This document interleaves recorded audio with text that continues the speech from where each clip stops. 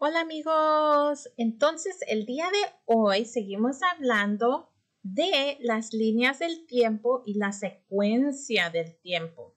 Recuerden que ayer platicamos un poco acerca de las líneas de tiempo y de la secuencia. Este, hablamos de que una secuencia es el orden en el que ocurren las cosas, como primero pasa esto, después pasó esto, después pasó algo más y así. Entonces, esa secuencia la tenemos que usar en las líneas de tiempo. Usamos palabras claves para mostrar el orden. Las palabras claves, ¿se acuerdan cuáles son esas palabras claves? Primero, luego y, por último, así como les dije que en la secuencia. Pero en la línea de tiempo usamos también las palabras presente, pasado y futuro. Y una secuencia nos ayuda a hablar sobre el tiempo. Ahora, recuerden, ayer estuvimos platicando acerca del pasado. El pasado es lo que ocurrió antes, ya pasó, ya fue algo que ya se hizo y ya pasó. Y describe el pasado son eventos que ya sucedieron, ya pasaron, ya fue algo que hiciste o se hizo y ya pasó. ¿Ok? Y presente son eventos que están sucediendo ahorita, en este momento, en este tiempo en que estás tú. El presente es lo que ocurre hoy en día y después la palabra ahora es la que describe el presente. Entonces digo, ahora voy a ir a la escuela, es que hoy día voy a ir a la escuela. Son eventos que están sucediendo ahora. Como por ejemplo, puedes decir, ahora voy a ir a la escuela o fui a la escuela. Ahora voy a ir a la tienda con mi mamá. Hoy voy a ir. Entonces, eso es lo que quiere decir la palabra presente. Ahora vamos a hablar acerca de la palabra futuro. El futuro es lo que ocurrirá después de hoy. Algo que va a pasar mañana o pasado mañana o el viernes o la semana que entra o el mes que viene o en el verano o el año que entra o en cinco años o diez años. Ese es el futuro. El futuro usa, para el futuro usamos diferentes palabras. Puede ser mañana, puede ser después. Esas palabras describen el pasado. Son eventos que ya van a suceder más adelante. Ahorita no están pasando y no han pasado. Están por pasar. Las personas y los lugares cambian con el tiempo. Cuando pasan las cosas, cambian con el tiempo. Entonces, no hay manera de saber lo que va a pasar en el futuro. Puedes desear que pasen cosas, pero no se asegura que pueden pasar. Ahora vamos a hablar acerca de las líneas de tiempo. Una línea de tiempo o una línea cronológica muestra el orden de lo que pasó. Se lee de izquierda, acuérdate que es de izquierda a derecha. Hemos visto algunas de estas líneas en, este, en matemáticas. No sé si te acuerdas. No líneas de tiempo, pero son líneas, líneas numéricas. Hemos visto de esas en matemáticas, pero bueno, aquí las estamos viendo en estudios sociales. Y se leen de izquierda a derecho. Entonces, cuando las lees, lees 1980, 1990, 2010, 2020. Entonces, se leen de izquierda a derecha. La cosa que pasó más adelante o en el pasado está a la mano izquierda. Entonces, lo más viejito, lo que ya pasó antes, está a la, a la mano izquierda.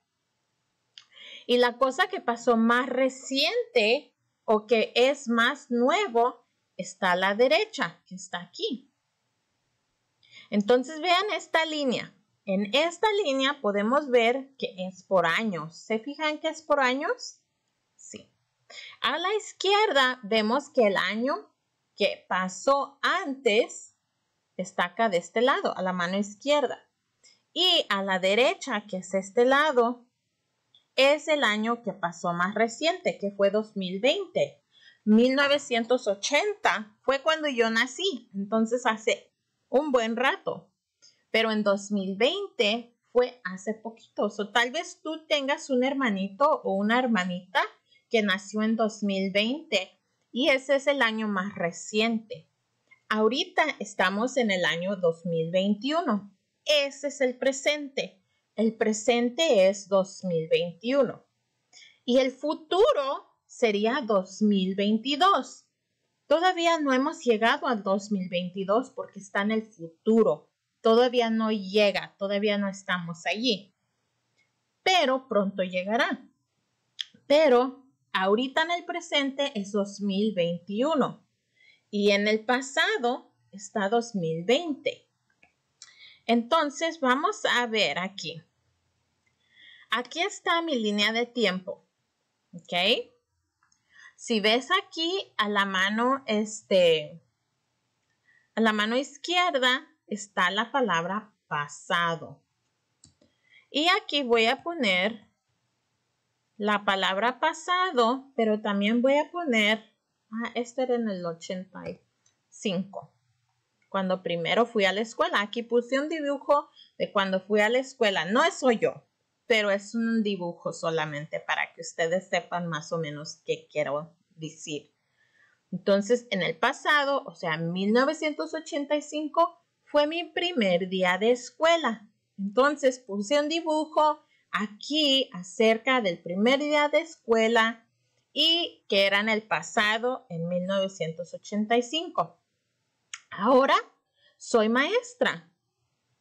Y entonces aquí puse presente, pero voy a poner el año 2021 porque es el presente. Estamos ahorita, ahorita estoy pasando eso. Estoy está en el presente, es algo que es hoy en día, el día de hoy. Maestra, ¿ok? Ahora en el futuro, me gustaría retirarme y irme a la playa. Entonces, puedo decir que en el 2035 voy a estar en la playa jubilada, retirada, sin tener que trabajar. Entonces, ese sería el futuro. Ahora, lo que vas a hacer es, te va a tocar a ti hacer una línea de tiempo. Vas a crear una línea de tiempo explicando los eventos en tu vida. Un evento de tu pasado, un evento de tu presente y un evento que esperas que suceda en el futuro.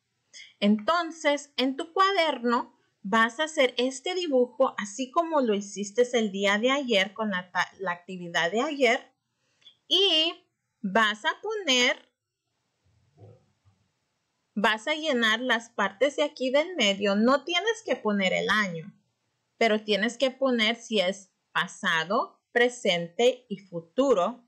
Y luego aquí en los cuadritos vas a poner un dibujo de lo que, este, del evento que te pasó. Por ejemplo, puedes poner en el pasado cuando, el día que naciste. O puedes poner tu cumpleaños de un año. O puedes poner tu primer día de escuela.